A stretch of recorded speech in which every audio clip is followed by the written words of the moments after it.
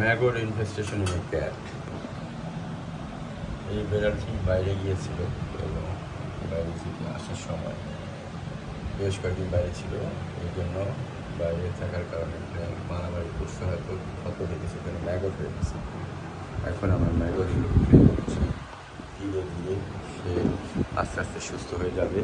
দেখি হ্যাঁ রাখো এই তো গুড ম্যাগট রাখো পরিমাণে দিয়ে দাও। জন্তু ম্যাগট দেহ পারো কিনা